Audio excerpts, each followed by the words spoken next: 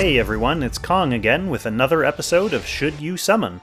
As always, I'm not going to be presenting builds or guides for these characters, but high-level overviews using these four criteria to help you decide whether it's worth spending your hard-earned vouchers and crystals on these characters.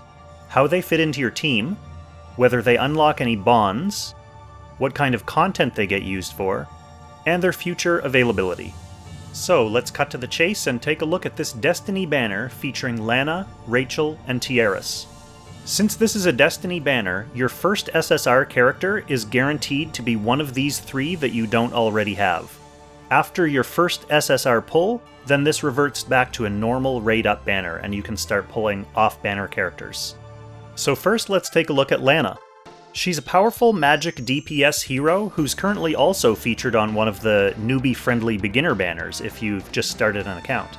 Her talent gives her one extra range on her skills, so her niche is being able to avoid counterattacks even from ranged units by outranging them. She has access to powerful single target and area of effect spells and excellent soldiers in sorceresses. She's a member of Dark Reincarnation, buffed by Bozel, and Princess Alliance, buffed by Shelfaniel and Luna. For bonds, she unlocks the attack bond for Sonya.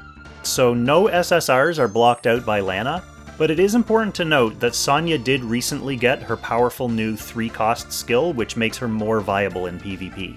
Sonya can be a big DPS unit, so she's definitely going to want her attack bond unlocked. For Lana's own bonds, she needs Leon for her defensive bond, and Elwyn for her attack bond. For content, Lana is an excellent overall PvE character. She's one of the important puzzle pieces for defeating the Ice Dragon and Leviar in the Eternal Temple. She's also useful against Fenrir and Nidhogg in Ancient Beckoning. In PvP, she has some mean skills and equipment synergies that make her a solid pick for Apex Arena, although she has fallen out of favor this season, largely because she doesn't bring anything extra to the table. In terms of availability, she's not showing up on any banners in the near future, as of the time of this recording, that goes up to late September, so she may start showing up after that. Next up, we have Rachel. Remember what I said about Lana not bringing anything extra to the table? Well, Rachel is the queen of extra. Her talent allows her to remove debuffs and heal surrounding allies after doing damage, and this includes doing AoE damage. She has a nice variety of single target and AoE spells, and a 3 cost skill that's already available on global servers. She's a member of Protagonists, buffed by Matthew, and Yeless Legends, buffed by Landius and Sigma. For bonds, she unlocks the defensive bond for Lambda and the all-important attack bond for Landius. For her own bonds, she needs Angelina for her defensive bond and Landius for her own attack bond. So both of her bonds are locked behind other SSR characters. For content, in PvE she's on faction against Phoenix in the Eternal Temple, She's also great against the Ice Dragon for obvious magical reasons. In Ancient Beckoning, she's on faction for Hugin and Munin, but she's particularly useful in the fight against Nidhogg. In PvP, she's quite a common threat in meta Apex Arena boxes, both for her magical power and versatility, and because she has access to Gospel. Now, this is an important point. Gospel allows her to protect against some mean strategies, but also provides a pseudo buff to characters in case you have to deploy someone without access to their fusion power. This gives you a lot of freedom and flexibility in your ban pick phase. This is actually the kind of flexibility that Lana is missing right now. For availability, Rachel does appear on a Destiny banner in early July alongside Ledin and Altamuller. If you get her here, then you increase your chances of getting those guys then. Finally, we have Tiaris, who's hands down one of the most useful characters in the game. She's also on a newbie-friendly beginner banner alongside Ledin, so if you've freshly created your account, then you have access, early access to her. She's a mobile healer with great support skills in Attack Blessing and Miracle, as well as a talent that gives surrounding heroes ongoing passive healing. Tiaris, paired with a strong tank, forms the core of many successful teams.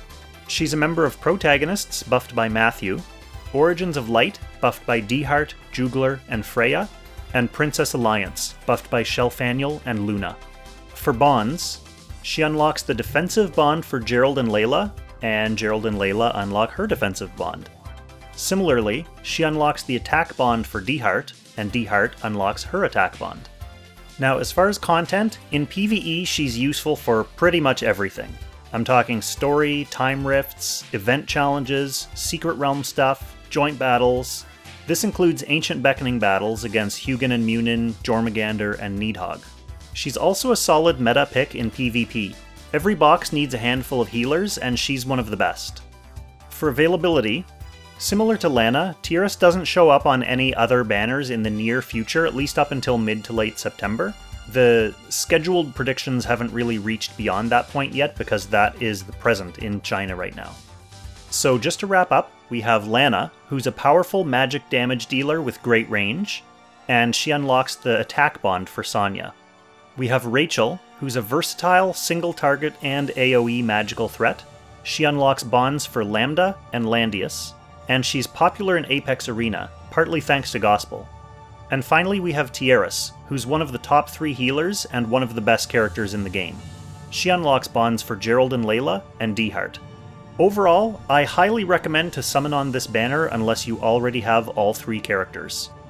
Even if you don't have any of them and you're just pulling for the first random SSR that comes up, one of them is going to be useful to your teams. Just a final reminder about upcoming banners. Zilong Games did kind of pull the rug under us with this banner, this was originally scheduled in the Chinese servers to be coming up next week after the Leonhart and Ren rerun.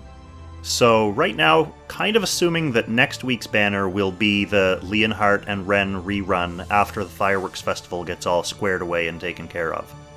When this banner goes away, it should be replaced with the new characters Ashram and Deedlit. Deedlit is one of the most hyped new units we're getting in a long time, and has skyrocketed to the top of the Chinese PvP meta. It seems like everyone's hoarding vouchers for this banner, so you might want to hop on the hype train. Of course, it's also possible that they might not want to have two crossover collaboration banners right after one another, so they may not want to have Leonhart and Ren immediately followed by Deedlit and Ashram. We basically have to wait and see what they do at this point. Anyway, I hope this was helpful. Let me know in the comments who you're hoping to summon and who you ended up getting. Thanks again for watching, and I'll catch you in the next Should You Summon.